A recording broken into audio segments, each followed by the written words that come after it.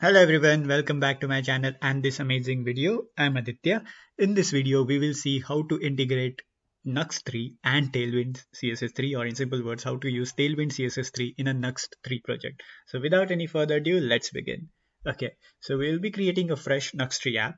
We won't be uh, upgrading from Nuxt 2 or Nuxt 3 or something like that. We'll be doing it in a fresh one. This is in a beta version. So at your own risk, you might want to use it in production because uh, there are some it's not matured yet in simple words. And also for Nuxt 2 you can I'm pretty much sure you should be able to use Tailwind CSS 3 but if you are not let me know in the comment section. And if you are able to do it let me know in the comment section how did you do it for Nuxt 2 okay?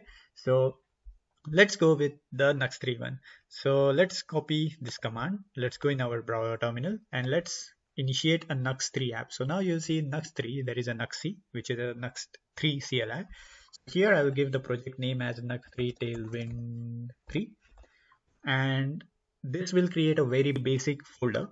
Uh, it will just be like few files here and there. And let's now uh, go inside that folder so we can see it properly. Let's open this with VS Code.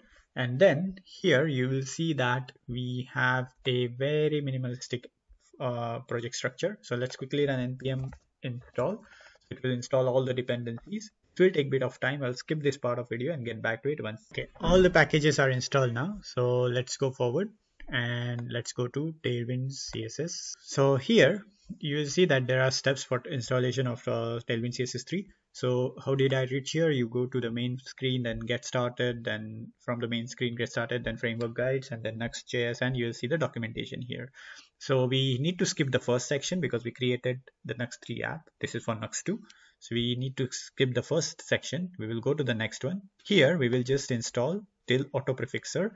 We don't need Nuxt uh, post CSS 8. It's not compatible for now. So we'll copy this command, go over here, paste it. And I like to do it in one go, uh, this npx tailwind CSS init as well. So if you're on Windows, you can do something like double ampersand and do npx tailwind CSS init. So it will run the installation first and then it will init the config file for Tailwind CSS. So let's do it in one go like this and let's wait till it installs. Okay, that's done. Now let's go back over here and you, you will see that we have a tailwind config.js file which will uh, contain the configuration of our final tailwind bundle. So that's fine. Now let's go back over here. And we just need to also skip this part as well of build modules. And we need to go straight over here. Okay. So how to do this? Now we need to go to our build oh sorry nuxt config.ts here you will see that few things are changed. Now there is define Nuxt config. Then we will go over here and just have a build object. So we'll type that there build. Inside that there will be post css uh, which is this one. And inside that post css there will be post css options. And inside those post css options we will have these options. So we will need to copy this plugins part go over there and put it over there like this. Okay? Simple now next thing we need to do is after the build part we need to have the css so we'll say css part and where we need the css to come from. So we need to tell that there will be an assets folder shortly. So there will be something like this assets folder. Inside that assets folder there will be a css folder and there will be main.css okay? And then we will create here one assets folder. So we'll call it assets inside that assets we will create a new file as main uh, let's create a folder because let's we can also straight away create main.css but let's keep it. Suppose you have javascript files then you can separate it. So css and then we will have a new file in that css as main.css okay? Uh, so here we just need to add those tailwind uh, utility base and components thing. So let's copy these three lines. Let's go over there and let's paste them now you can also do tree shaking by uh, adding these things in your uh, tailwind config.js over here. So we'll just add those things over here. So what this says is whichever, uh, so it will go in all these folders and their individual files. And in that thing, whichever classes are not used, tailwind CSS classes are not used, it won't consider their CSS or it won't create css for them in its final bundle.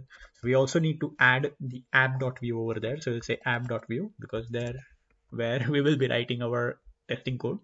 So we will just remove this nuxt welcome from here and here we will do something like this. So I will say h1 class, let's give it text red of maybe 400 and here this is a tailwind test. Okay, if this works, that means tailwind is working fine, no problem in that. So let's do npm run dev there it is. Now let's copy this url and which is a localhost url simply let's paste it on our browser and let's see. And there it is. Tailwind css working well and good with nuxt 3 so that's all in this video. Hope you like this video if you have any uh, feedback on this or if you have done something differently do let me know in the comment section. And also do let me know if you have tried integrating tailwind css3 with nuxt2 and how did it go.